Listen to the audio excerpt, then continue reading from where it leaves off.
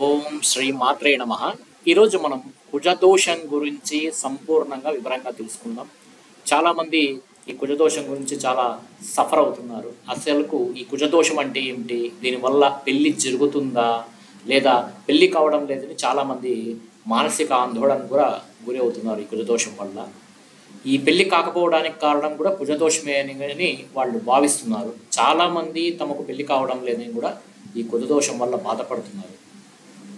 ఈ కుజుని వల్లనే కుజదోషం ఉండ ఉంది కాబట్టినే ఇలాంటి పరిస్థితి తమకు వచ్చిందని బాధపడేవారు కూడా చాలామంది ఉన్నారు. అయితే ఈ కుజదోషం ఉండేటువంటి యువతి యువకులను పెళ్ళాడేందుకు కూడా చాలా మంది అయితే ఇష్టపడరు. అసలుకు ఈ కుజదోషం ఉంటే అసలుకు పెళ్ళిళ్ళు కావని చాలామంది భయపడుతూ ఉంటారు. మరి వాస్తవానికి కుజదోషం ఉన్న వ్యక్తులకు పెళ్ళి కాదనే మాట అయితే అవాస్తవం. ఈ కుజదోషం ఉన్నవారికి కూడా వివాహం అవుతుంది. కానీ సమస్యలతో కాస్త జీవితం అనేది కొనసాగుతూ ఉంటుంది అని భావించాలి. మరి కుతదోషం ఉన్న వారిని వివాహం చేసుకుంటే వ్యాపారాలు కలిసి రాకపోవడం లేక అప్పుల బాధ స్థిరాస్తులను ఉన్నటువంటి స్థిరాస్తులను కోల్పోవడం మరియు ఆర్థికపరమైనటువంటి బాధలు పడడం ఉద్యోగంలో అస్థిరత్వం ఉండడం తరచు కొట్లాడటం హడావుడి కృతజ్ఞత లేకపోవడం వ్యసనాలకు అలవాటు పడడం విపరీతమైనటువంటి వివాదాలు మితిమీరినటువంటి స్వార్థం మొండితనం ఓర్వలేనితనం కుటుంబ జీవితంలో అనేక సమస్యలు దంపతుల మధ్య అవగాహన లోపంతో తరచు గొడవలు ఏర్పడడం ఇవన్నీ కూడా కుజుడి ప్రభావం వల్ల ద్వాదశ భావాల్లో తనకు ఉన్నటువంటి ఆయన ఉన్నటువంటి స్థానాన్ని అనుసరించి చెబుతూ ఉంటుంది. అయితే ఈ కుజదోషం అనేది మ- ముఖ్యంగా వృషభ మిథున కన్య తుల మకర కుంభ లగ్నాల వారికి కుజుడు పాపే అవుతాడు కాబట్టి వీళ్ళకి కుజదోషం అనేది వర్తిస్తుంది. మిగతా లగ్నాల్లో జన్మించిన వారికి ఈ కుజ దోషం అనేది వర్తించదు.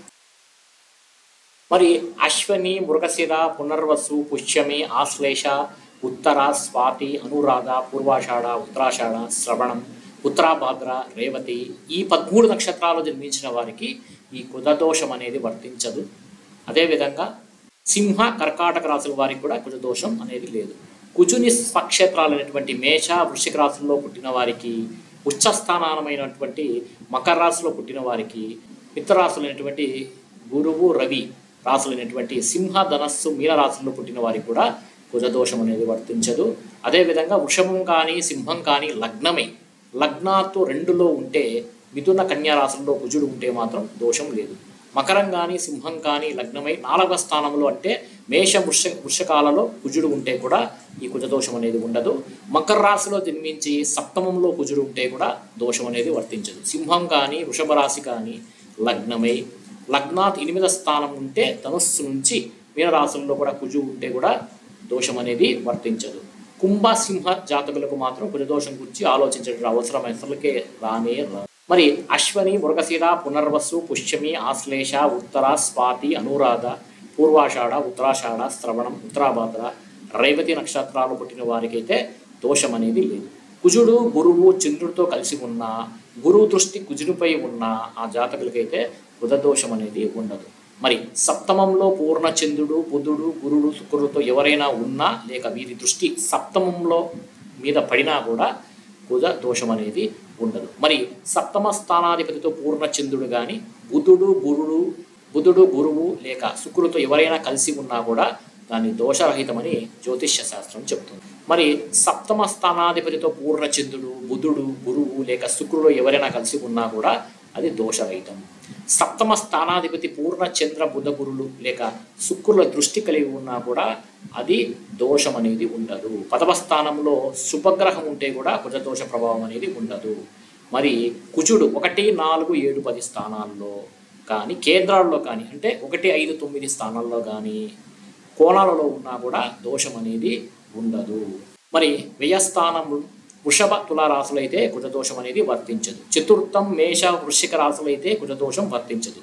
సప్తమ స్థానము మకర కర్కాటక రాశులైతే కూడా కుజదోషం అనేది వర్తించదు. అష్టమ స్థానం ధనస్సు లేదా మీన రాశులైతే కుజదోషం అనేది వర్తించదు.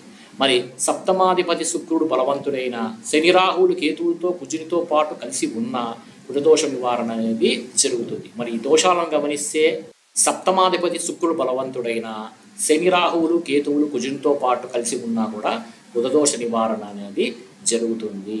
మరి ఈ కుదదోషం అనేది మీ జాతకంలో ఉందా లేదా తెలుసుకోవాలంటే వ్యక్తిగత జాతక పరిశీలన చేయాలి.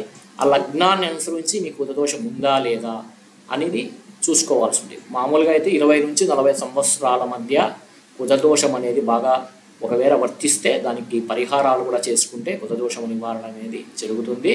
ఇప్పుడు నేను చెప్పిందంతా మీకు చాలా మందికి జ్యోతిష్యం మీద అవగాహన ఉన్న వారికి అయితే అర్థమవుతుంది కానీ మిగతా వారికి అయితే అర్థమైతే కాదు. అర్థవంతంగా చెప్పాలంటే కుండలు వేసి ఎక్స్ప్లెనేషన్ చేయాల్సి ఉంటుంది. కొన్ని జాతకాలను ఉదాహరణ తీసుకొని చెప్తే మీకు అర్థమవుతుంది. అలా కావాలనుకుంటే కింద కామెంట్ సెక్షన్లో రాయండి. నెక్స్ట్ వీడియో నేను చేస్తాను.